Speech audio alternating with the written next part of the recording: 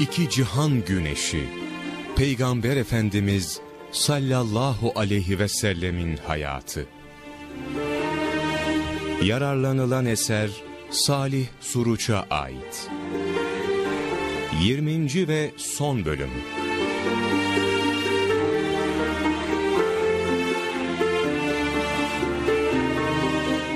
Selamünaleyküm. Son bölümde sizlerleyiz. Bir evvelki bölümde hicretin 9. yılındaki olayları aktarmaya çalışıyorduk. Peygamber Efendimiz sallallahu aleyhi ve sellem Tebük seferine hazırlandığı sırada bir olay oldu. Mescidi Dırar olayı. Kubalı bir grup münafık huzura çıktılar. Dediler ki, yağmurlu ve soğuk gecelerde hasta ve uzak yere gidemeyeceklerin namaz kılmaları için biz bir mescit yaptık. Siz de gelin mescidimizde bize namaz kıldırın, şereflendirin. Gayeleri kötüydü. Onlar münafıktı. Dillerinden dökülen bu cümleler dışarıdan bakıldığı zaman ne kadar güzeldi.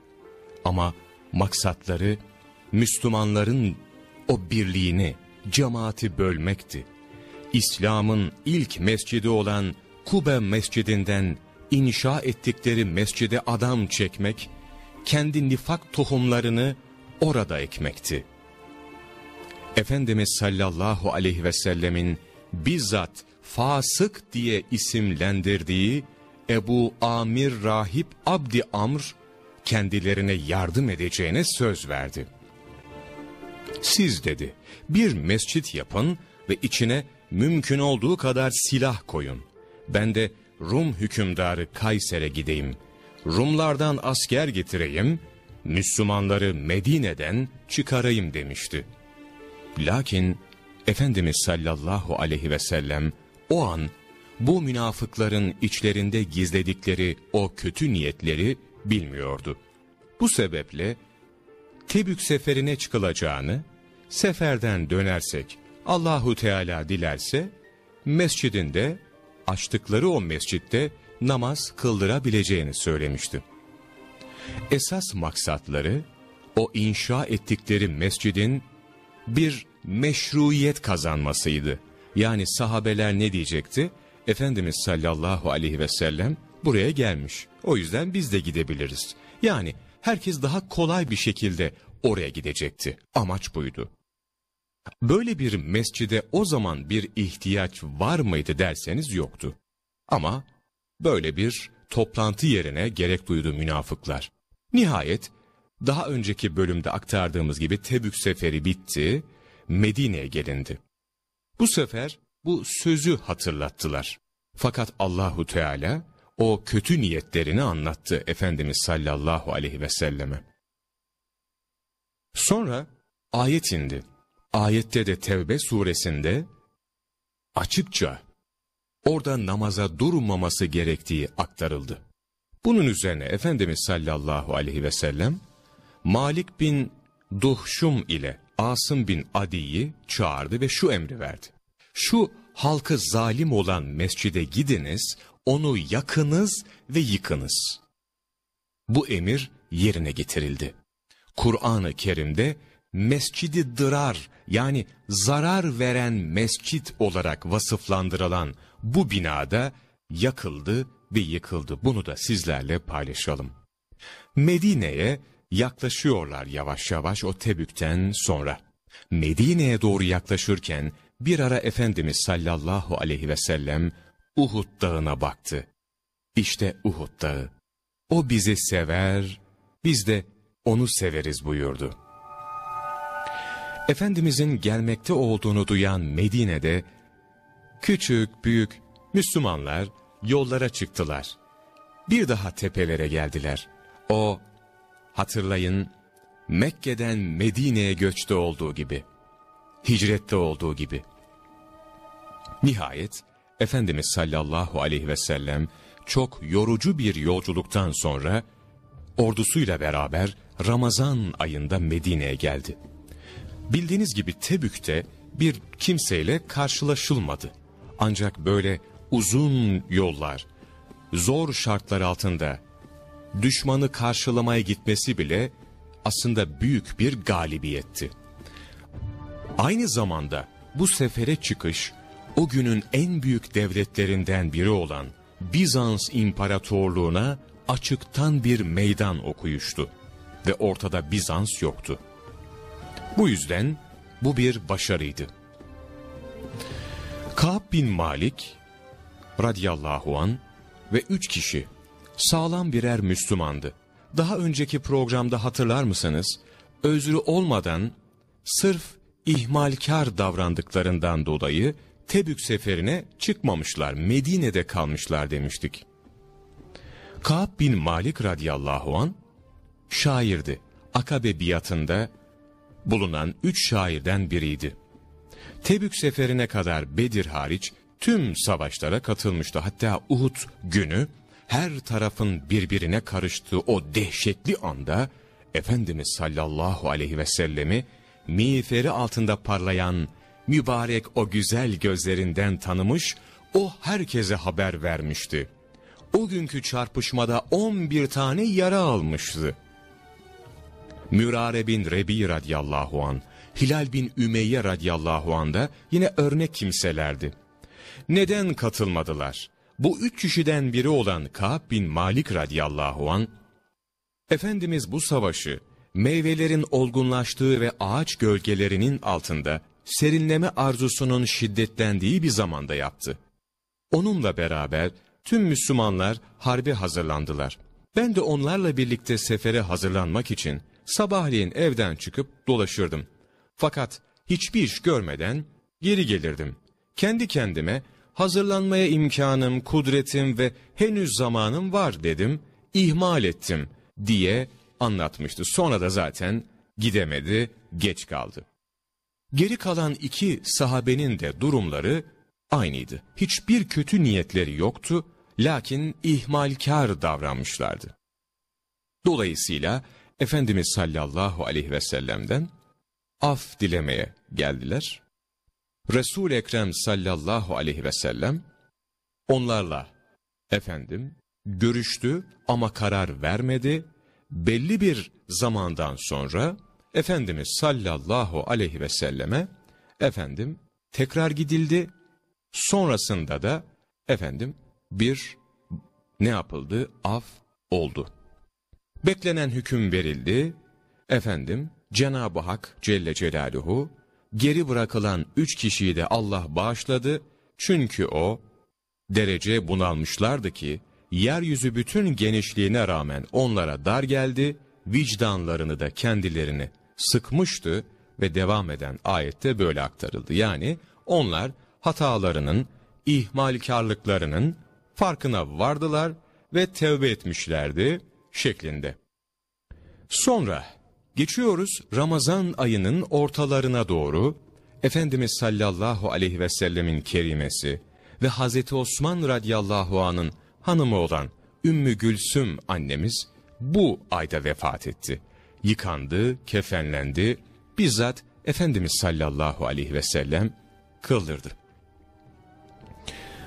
Sonra defin işinden biraz zaman geçti, mübarek gözlerinden yaşlar ak e, aktı görülünce, Efendimiz sallallahu aleyhi ve sellemle beraber etraftaki sahabeler de ağladılar. Dualar eşliğinde defin sona erdi. Değerli dinleyenlerimiz, Efendimiz sallallahu aleyhi ve selleme 9. yılda da birçok heyet geldi, kabileler geldi. Onlar da Müslüman oldular. Çoğu ülkelerinde bulunan putları yaktırdı, yıktırdı. Gizlice Kur'an öğrenmeye gerek kalmadı. Birçok yere Kur'an müellimleri, muallimleri gitti, öğretmenleri gitti. O yıl unutmamamız gereken bir durum daha oldu. Abdullah bin Übey bin Selul. Kimdi o? Münafıkların reisi. Efendimiz sallallahu aleyhi ve sellemin aziz şahsiyetini sözde nazardan düşürmek, İslam'ın ilerlemesine engel olmak için çalışanlardan bir tanesiydi. Fakat Cenab-ı Hakk'ın inayetiyle tüm teşebbüsleri boşa çıktı. Başında bulunduğu bir şebeke vardı, kötülük şebekesi. Haklarında ayeti kerimeler indi. Hatta Münafikun adında özel bir sure dahi indi. Bu sebeple Efendimiz sallallahu aleyhi ve sellem bunlara karşı hep dikkatli davranır, hal ve hareketlerini kontrol ederdi. İşte İslam camiasının birliğini bozmak için her fırsatı kullanan bu kişi hicretin 9. senesi Zilkade ayında öldü. Abdullah bin Übey, münafıkların reisiyken oğlu Abdullah ise radiyallahu an son derece samimi bir Müslümandı. Bu ölüden diriyi, diriden ölüyü çıkaran Allahu Teala'nın kudretiydi. Bir tanesi münafıkların reisi, bir tanesi mücahit bir Müslüman. Babasının ölümü üzerine Abdullah radıyallahu an üzgün, Efendimiz sallallahu aleyhi ve sellemin yanına çıktı. Ya Resulallah, gömleğini bana versen de babamı onunla kefenlesem. Ne olur dedi bir de.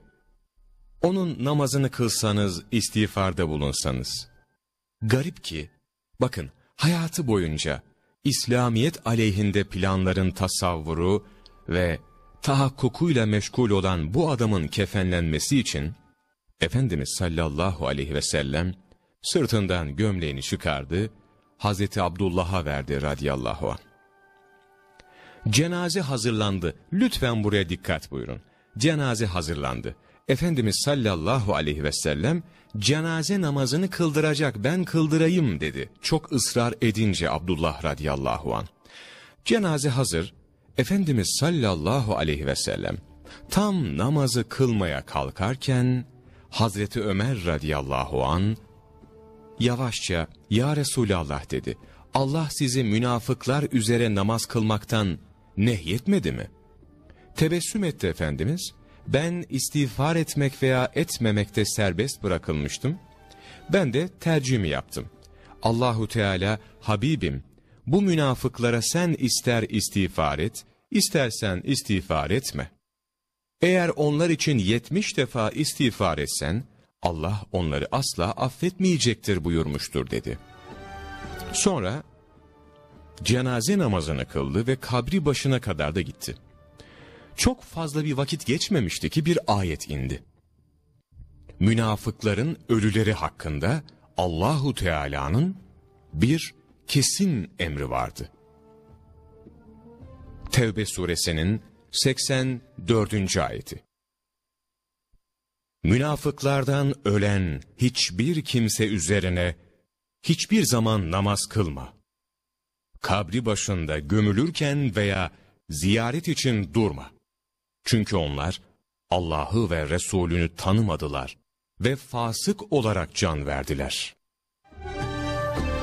Bundan sonra Efendimiz sallallahu aleyhi ve sellem hiçbir münafığın cenaze namazını kılmadı, kabrinin başında da durmadı. Tabi her adımında bir hikmet var. Onun etrafında toplanmış olan Müslümanların samimi iman etmelerini temin etmesi gerekiyor. Nitekim Efendimiz sallallahu aleyhi ve selleme gömleğini niçin verdiniz? Cenaze namazını niçin kıldınız efendim dedikleri zaman gömleğim ve onun üzerine kıldığım namazım kendisini Rabbimden gelecek azaptan kurtaramayacaktır.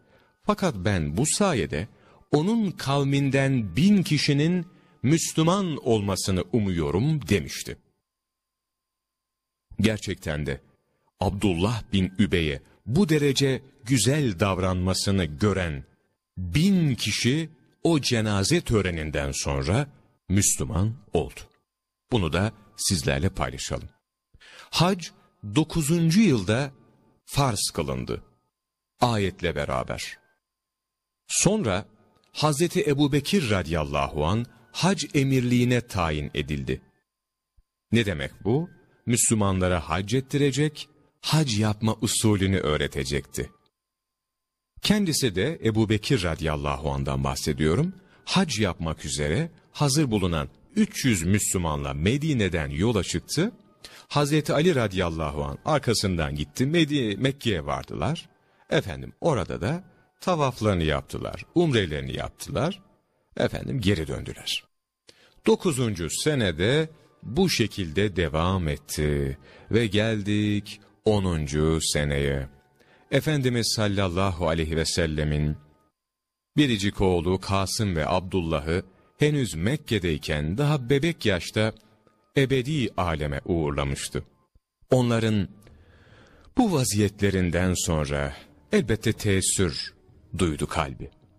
Fakat Hazreti Mariye'den İbrahim'in dünyaya gelişi onu bir derece teselli ediyordu.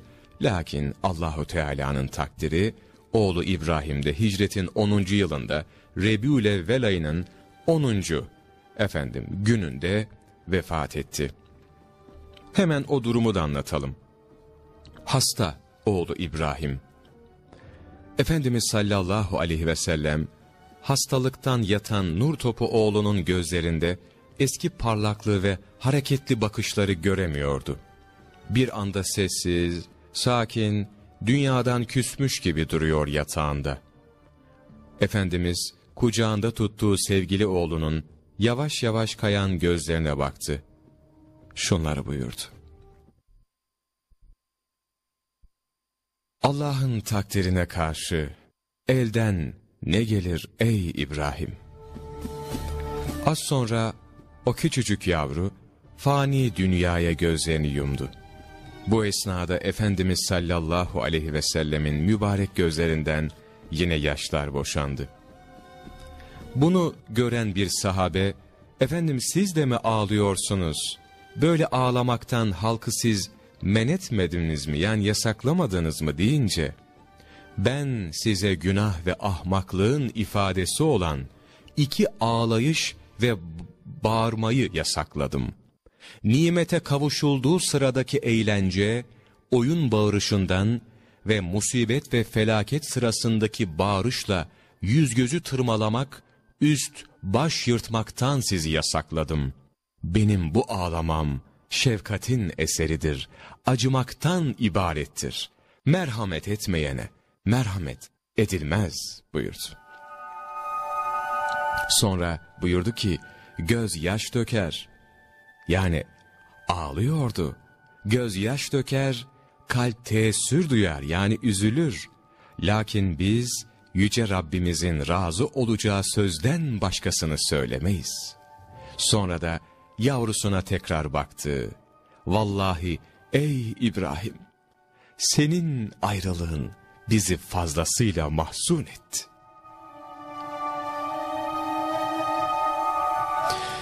Sonra ne dedi biliyor musunuz? Ey dağ dedi karşısındaki dağa baktılar. Eğer bendeki üzüntü sende olsaydı ey dağ, muhakkak yıkılmış gitmiştin. Fakat biz Allah'ın bize emrettiğini söyleriz. İnna lillah ve inna ileyhi raciun.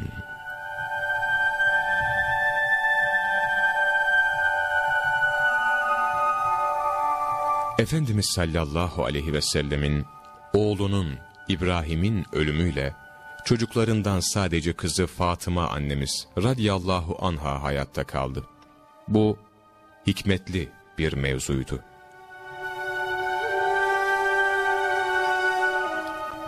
Resul Ekrem sallallahu aleyhi ve sellem efendimiz miladi 631 Rebül Evvel ayında Halit radıyallahu anı 400 mücahitle Yemen civarındaki Necran'da oturan Haris bin Kaboğullarına gönderdi.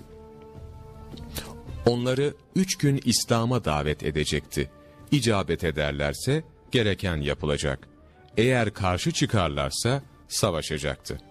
Halit radıyallahu an Necran'a gitti. Birkaç taraftan süvari elçiler gönderdi.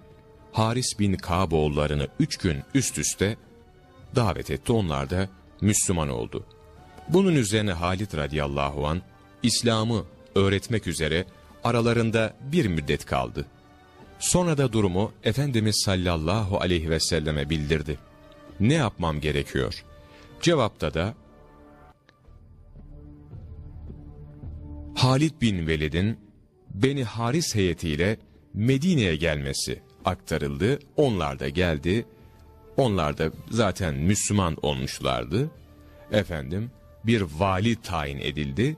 Elçiler Medine'de kaldıktan sonra Efendimiz sallallahu aleyhi ve sellemin onlara verdiği hediyelerle döndüler. Çok meşhur bir kabileydi. Onlar da Müslüman oldu. Ve veda hutbesi zamanı. Tarih Zilhicce ayının dördü, pazar günü sabahın erken saatleri.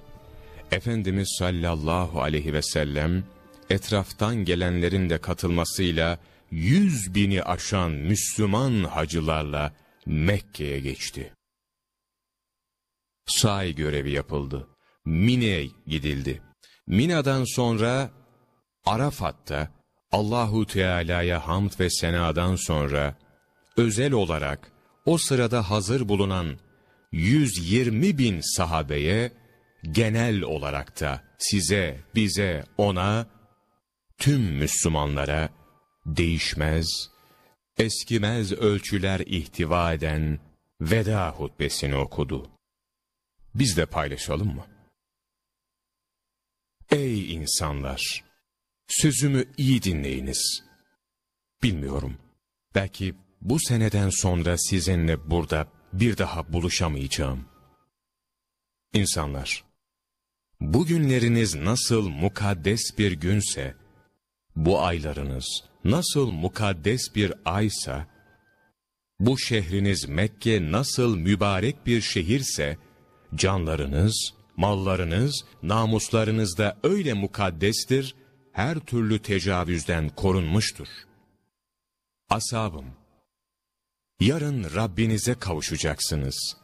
Bugünkü her hal ve hareketinizden muhakkak mesul olacaksınız. Sakın benden sonra eski sapıklıklara dönüp de birbirinizin boynunu vurmayınız. Bu vasiyetimi burada bulunanlar, bulunmayanlara bildirsin. Olabilir ki bildirilen kimse, burada bulunup da işitenden daha iyi anlayarak muhafaza edebilir. Asabım, kimin yanında bir emanet varsa, onu sahibine versin. Faizin her çeşidi kaldırılmıştır. Ayağımın altındadır. Lakin borcunuzun aslını vermek gerekir. Ne zulmediniz ne de zulme uğrayınız.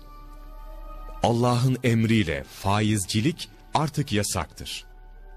Cahiliyetten kalma bu çirkin adetin her türlüsü ayağımın altındadır. İlk kaldırdığım faizde Abdülmuttalib'in oğlu, amcazadem Abbas'ın faizidir. Asabım, cahiliyet devrinde güdülen kan davaları da tamamen kaldırılmıştır. Kaldırdığım ilk kan davası, Abdülmuttalib'in oğlu, torunu, amcazadem, Rebiya'nın kan davasıdır. Ey insanlar! Bugün şeytan sizin şu topraklarınızda yeniden tesir ve hakimiyetini kurmak gücünü ebedi surette kaybetmiştir. Fakat siz bu kaldırdığım şeyler dışında küçük gördüğünüz işlerde ona uyarsanız bu da onu memnun edecektir. Dininizi korumak için bunlardan da sakınınız.'' Ey insanlar! Kadınların haklarını gözetmenizi ve bu hususta Allah'tan korkmanızı tavsiye ederim. Siz kadınları Allah emaneti olarak aldınız.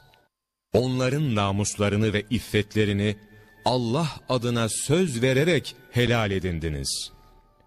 Sizin kadınlar üzerindeki hakkınız, onların da sizin üzerinizde hakları vardır. Sizin kadınlar üzerindeki hakkınız, onların aile yuvasını, sizin hoşlanmadığınız hiçbir kimseyi evinize almaz, almaması ve çiğnetmemeleridir.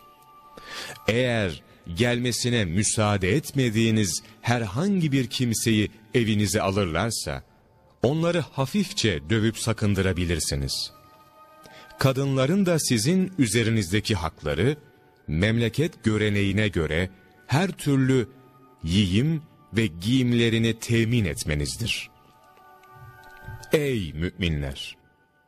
Size bir emanet bırakıyorum ki, ona sıkı sarıldıkça yolunuzu hiç şaşırmazsınız. O emanet Allah'ın kitabı Kur'an'dır. Müminler, sözümü iyi dinleyiniz ve iyi belleyiniz. Müslüman, Müslümanın kardeşidir. Böylece bütün Müslümanlar kardeştir. Din kardeşinizin herhangi bir hakkına tecavüz, başkasına helal değildir. Meğer ki gönül hoşluğuyla kendisi vermiş olsun. Asabım, kendinize de zulmetmeyiniz. Kendinizin de üzerinizde hakkı vardır. Ey insanlar! Cenab-ı Hak her hak sahibine hakkını Kur'an'da vermiştir. Varise vasiyet etmeye lüzum yoktur. Çocuk kimin döşeğinde doğmuşsa ona aittir. Zina eden için mahrumiyet vardır. Babasından başkasına soy iddia eden soysuz yahut efendisinden başkasına intisaba kalkan nankör, Allah'ın gazabına, meleklerin lanetine ve bütün Müslümanların bedduasına uğrasın. Cenab-ı Hak, bu gibi insanların ne tevbelerini ne de adalet ve şehadetlerini kabul eder. Ey insanlar! Rabbiniz birdir. Babanız da birdir. Hepiniz Adem'in çocuklarısınız. Ademse topraktandır. Allah yanında en kıymetli olanınız, ondan en çok korkanınızdır.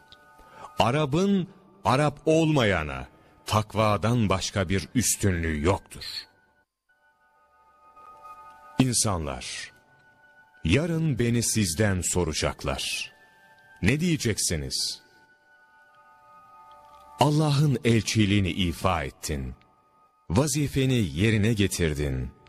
Bize vasiyet ve nasihatte bulundun diye şehadet ederiz. Bunun üzerine Resul Ekrem sallallahu aleyhi ve sellem mübarek şehadet parmağını kaldırarak sonra da cemaat üzerine çevirip indirerek şöyle buyurdu. Şahit ol ya Rab. Şahit ol ya Rab. Şahit ol ya Rab.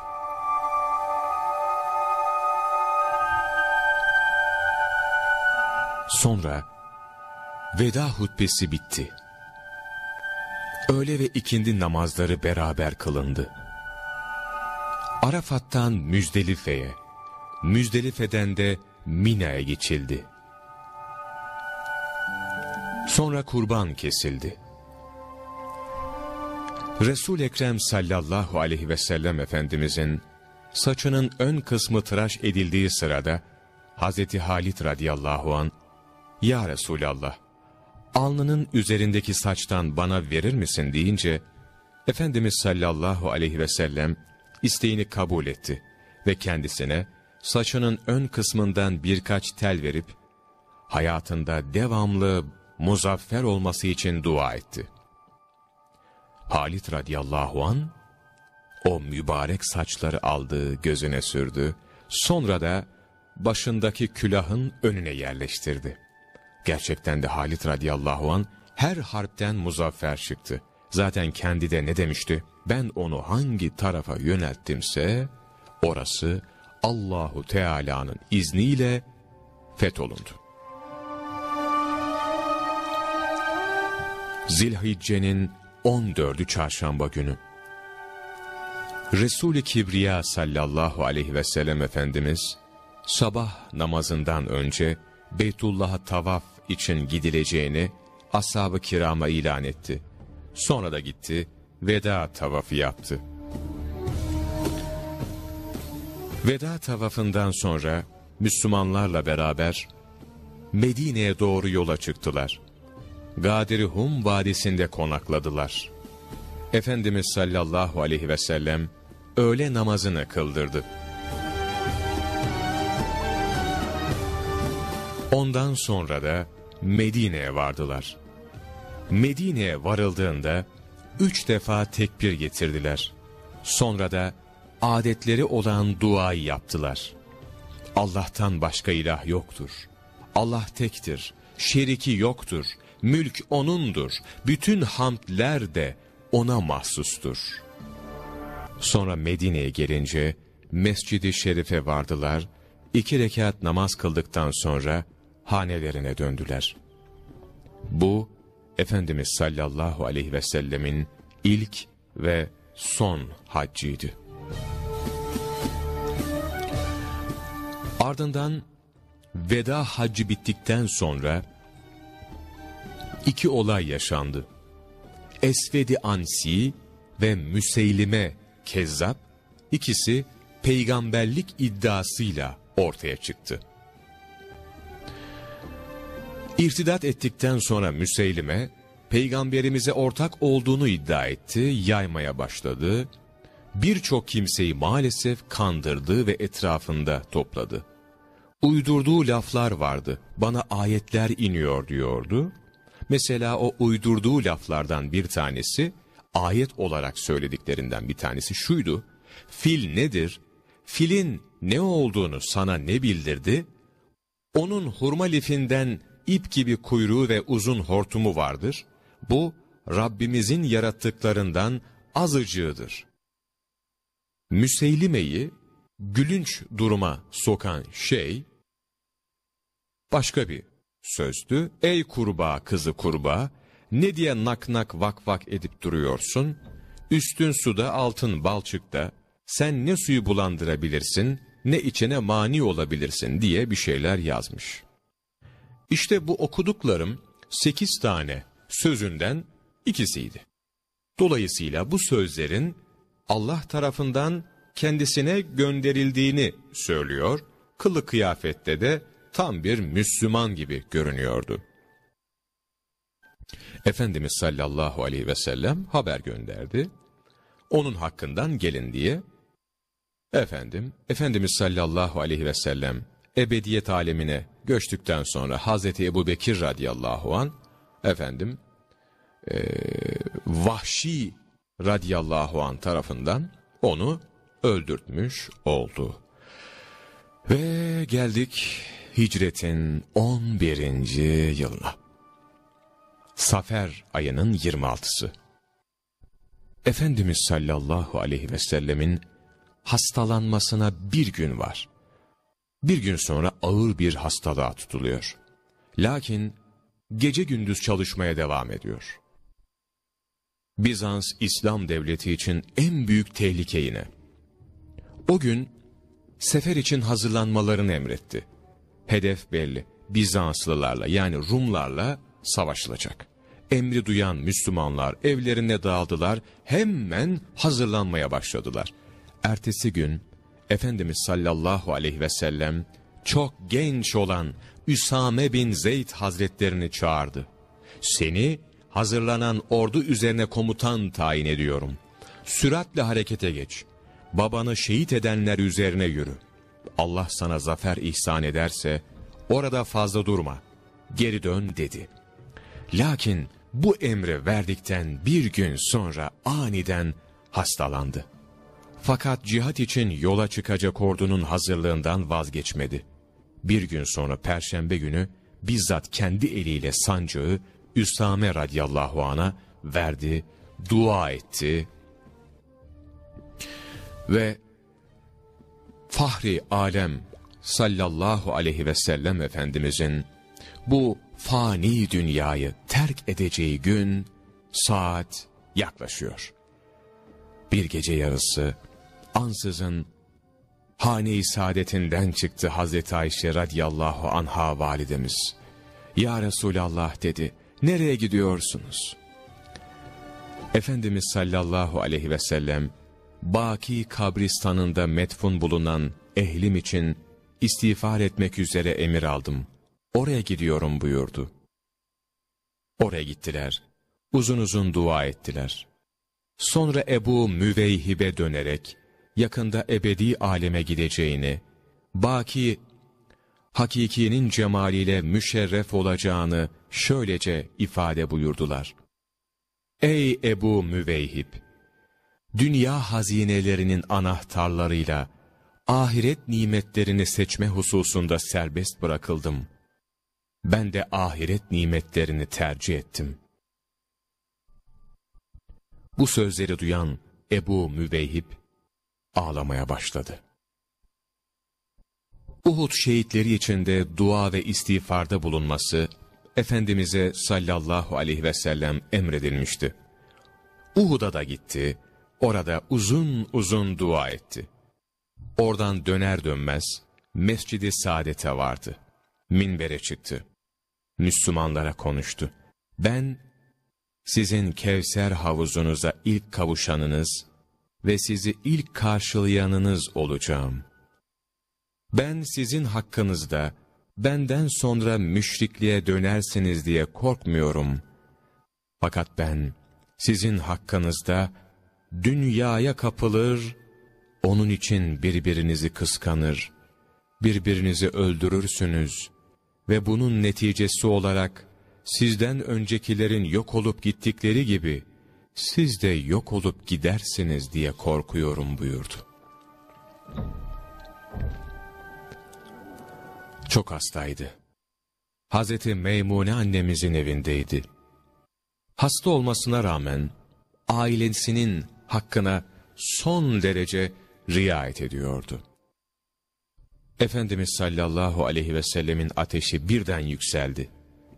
Davet ettiği bütün hanımları etrafında üzüntülü, kederli duruyorlar. Yarın hanginizin evine gideyim dedi. Birkaç kez tekrarladı, hiçbir hanımından cevap gelmedi. Bu soruyu sormasındaki maksadı, hastalık günlerini Hazreti Ayşe annemizin evinde geçirmeyi istemiş olmasındandı. Hanımları, ferasetleriyle bu mevzuyu anladılar. İttifakla, Hazreti Ayşe radiyallahu anha annemizin evinde kalmasını uygun gördüler. Ve oraya gitti. Şöyle anlatıyor Ayşe annemiz. Efendimiz sallallahu aleyhi ve sellemin o hasta olduğu ve evlerine geçtikleri andaki durumunu anlatıyor. Efendimiz sallallahu aleyhi ve sellem eve geldiği sırada başımda bir ağrı belirmişti. Ağrının şiddetinden vay başım, vay başım dedim, söylendim. Bunu duyunca ne ehemmiyeti var, neden üzülüyorsun? Eğer benden evvel dünyadan göçüp gidersen, seni teçhiz ve tekfin eder, namazını da kılarım diye konuştu. Ben de, siz benim ölümümü mü istiyorsunuz deyince, Peygamberimizin latife yaptığını birden anlamayıp böyle konuştum diyor. Resul Ekrem sallallahu aleyhi ve sellem o hasta halinde yaptığı latifeyi şu ciddi sözlerle bağladı. Ey Ayşe! Senin başının ağrısı geçer gider. Asıl baş ağrısı benim başımın ağrısıdır. Artık ondan kurtulmak çok zor. Hastalığın şiddeti, ateşin yüksekliği sebebiyle Efendimiz yatağında bile rahat edemiyor. Bir o tarafa bir bu tarafa dönüyor. Başucunda bulunanlar, Ya Resulallah, eğer bizden birisi bu derece ızdırap çektiğini görseydi, muhakkak bizi tekdir ederdin deyince, benim hastalığım bildiğiniz gibi değil, oldukça zordur. Allahu Teala salih ve mümin kullarını belanın, hastalığın ve musibetin en şiddetlilerine müptela eder. Fakat o bela, o musibet ve o hastalık vasıtasıyla o mümin salih kulunun derecesini yükseltir, günahlarını yok eder.''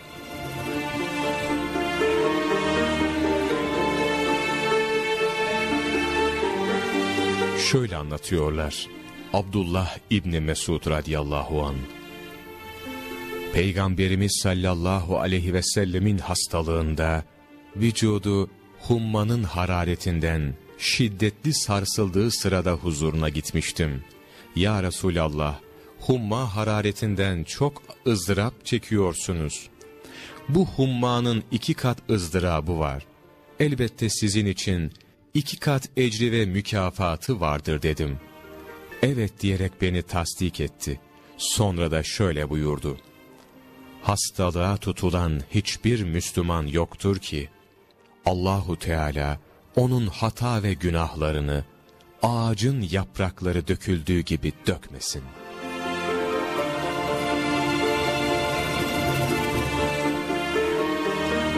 Bir başka sahabi geldi. Ben dedi böyle bir sıtma görmedim. Şöyle buyurdu Efendimiz aleyhisselam. Bizim hastalığımız herkesten daha şiddetli, daha çok olur. Fakat bunun mukabilinde kazandığımız sevap ve mükafat da o nispette fazla olur. Biraz düşünelim mi? Bir peygamber ki peygamberlerin de en üstünü sallallahu aleyhi ve sellem o dahi ölüm anında gerçek sahibine kavuşacağı sırada bu olayları yaşıyor. Hastalanıyor. Baş ağrısı çekiyor. Ateşi yükseliyor. Bundan biraz ibret almamız, kendi hastalığımızda, kendi dertlerimizde düşünmemiz gerekmiyor mu? Rebül Evvel ayının 8'i, Perşembe günü. En şiddetli anlar hastalığının. Birçok zat evin içinde. Kağıt kalem istedi. Size bir yazı yazayım da, bundan sonra hiçbir zaman yolunuzu şaşırmayın. Hazreti Ömer radıyallahu an Efendimiz'e hastalığı baskın gelmiştir. Yanımızda Kur'an var. Allah'ın kitabı bize yeter. Rahatsız olmayın. Dedi. Yani kağıt kalem getirip getirmemekte tereddüt ettiler.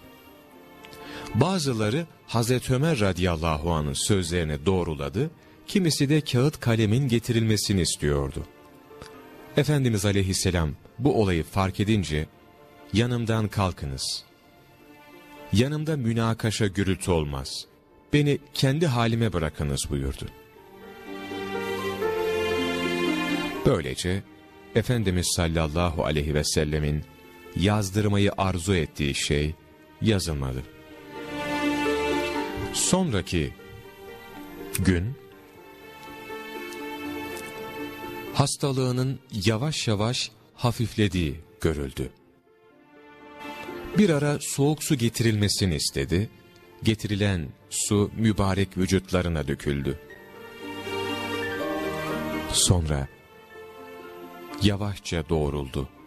Asabı kirama hitaben, Ey insanlar! Duydum ki vefat edeceğimi düşünüp telaş ediyormuşsunuz. Hangi peygamber ümmeti içinde ebedi kaldı ki ben de kalayım? Bilesiniz ki ben yakında Rabbime kavuşacağım. Ona siz de kavuşacaksınız. Ey insar! İlk muhacirlere iyilik etmenizi size tavsiye ederim. Ey muhacirler! Siz de ensara iyilikte bulunmanızı tavsiye ederim size de. Onlar size yardımda bulundular. Ey insanlar!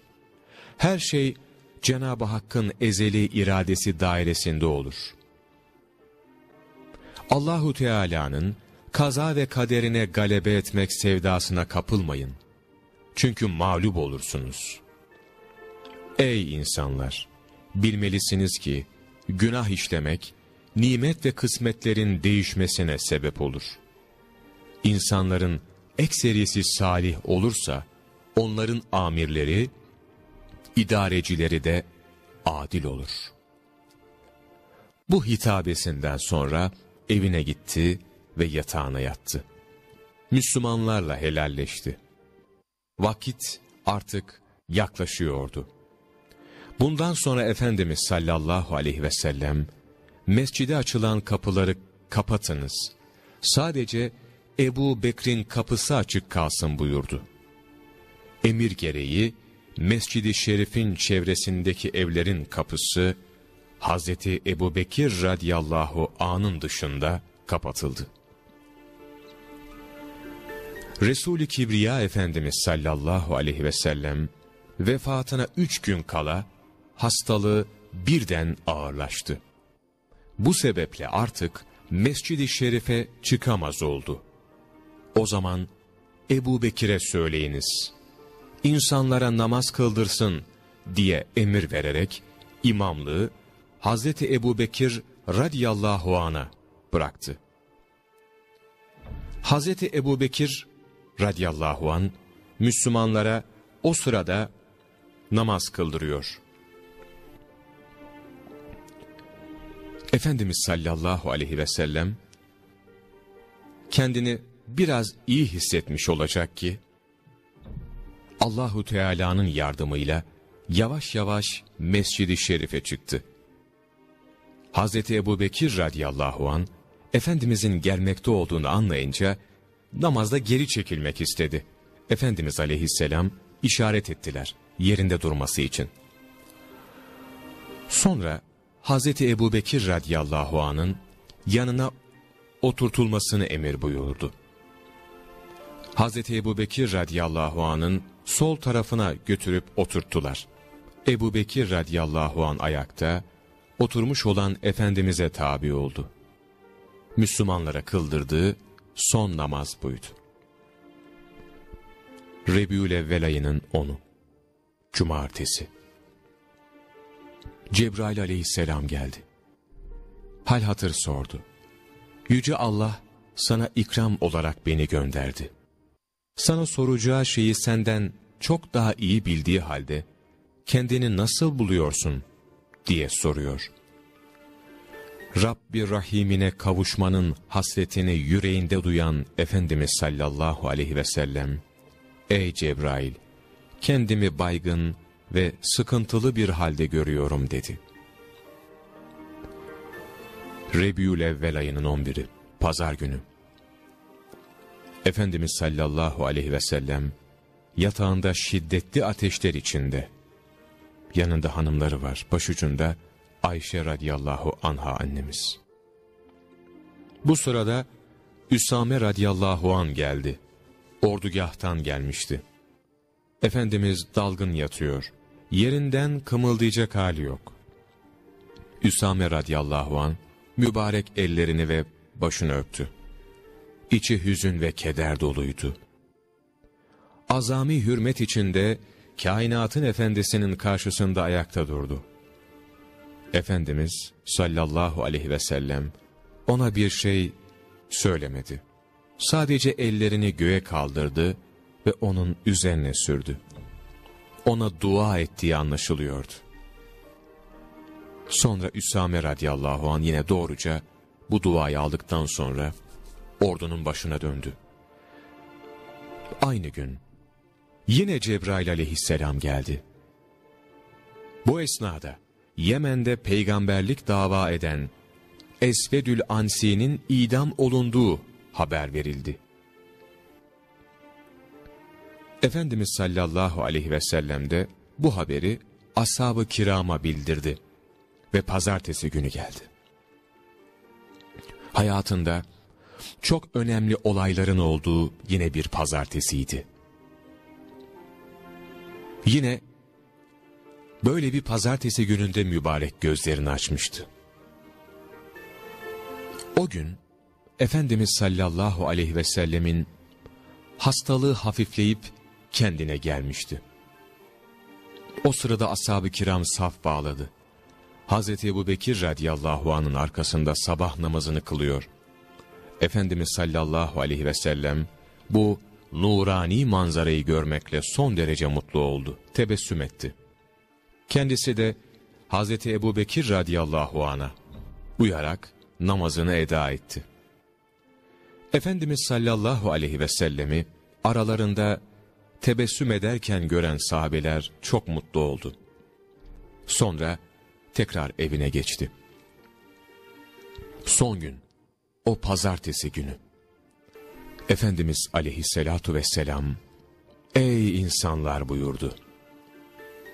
Karanlık gece kıtaları gibi fitneler geliyor. Ey insanlar! Siz bana karşı hiçbir şeyle delil bulamazsınız.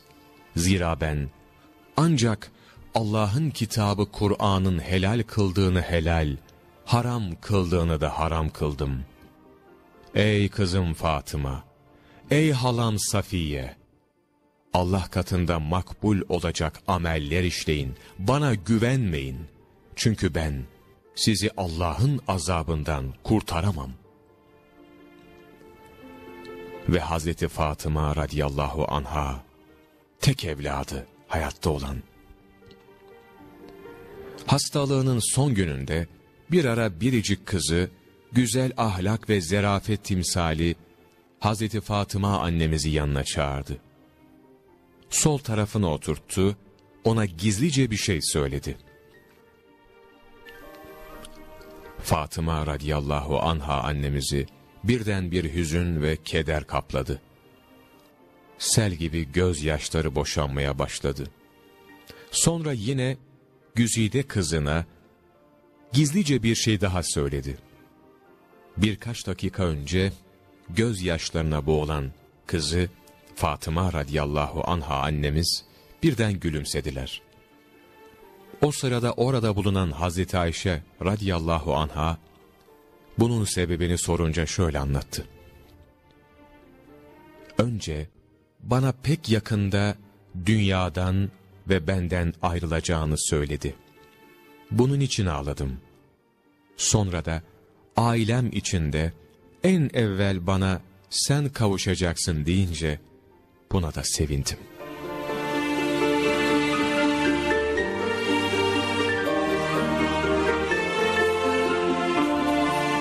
Rebiül Evvel ayının 12'si Pazartesi günü Güneş batıya doğru kayıyor.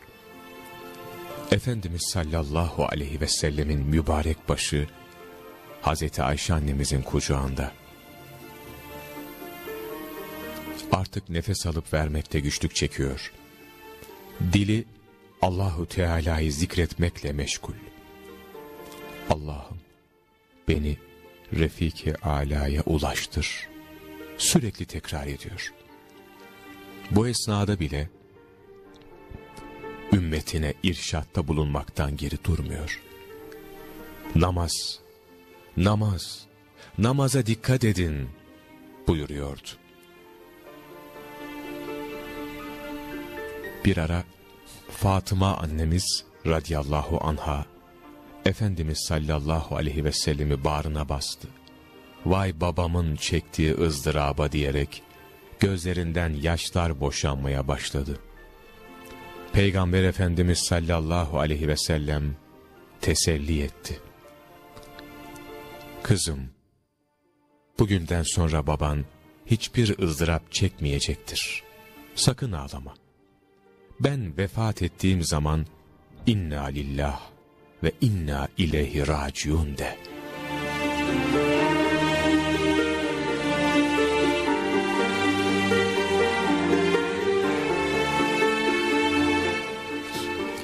ve vakit yaklaşıyordu.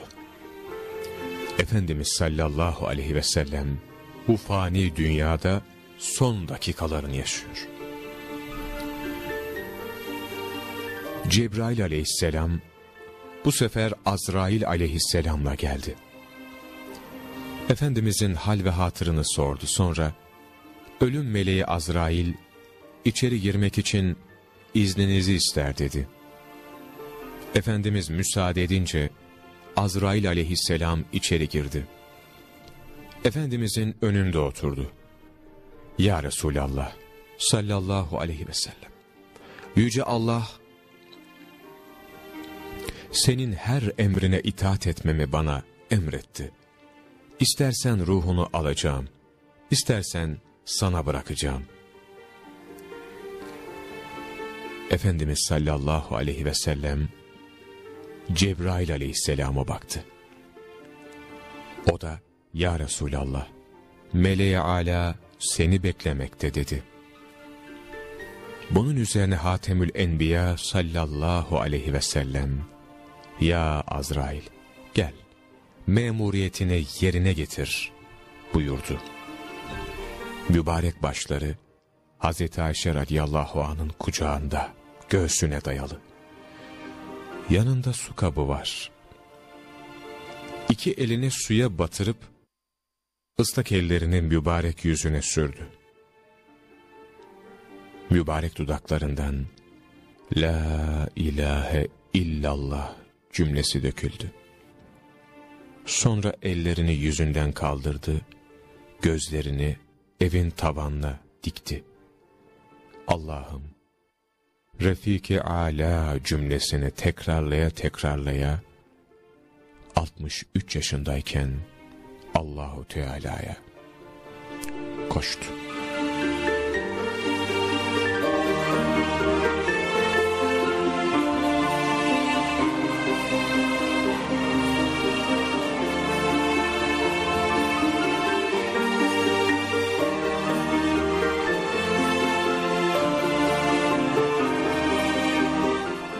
Salat, selam sana ya Resulallah sallallahu aleyhi ve sellem.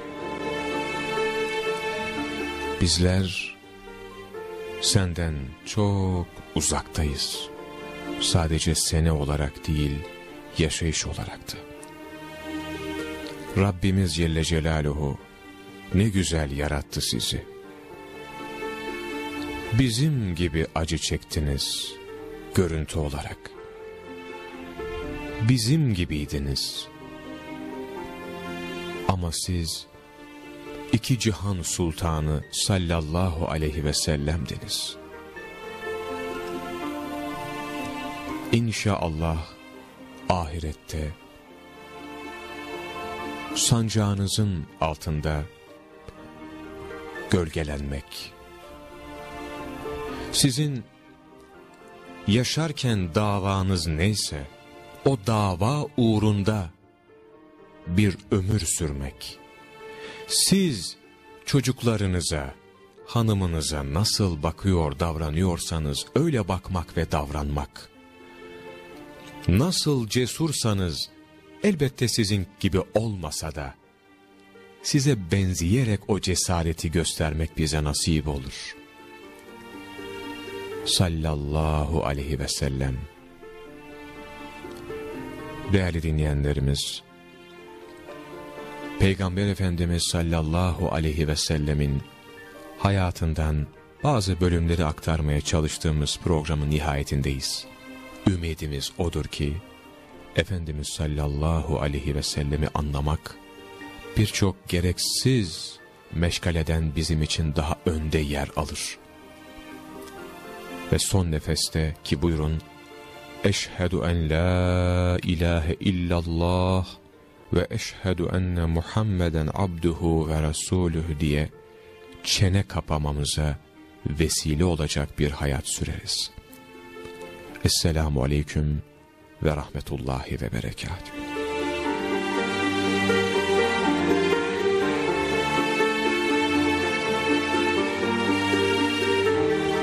İki cihan güneşi Peygamber Efendimiz sallallahu aleyhi ve sellemin hayatı. 20. ve son bölümü dinlediniz.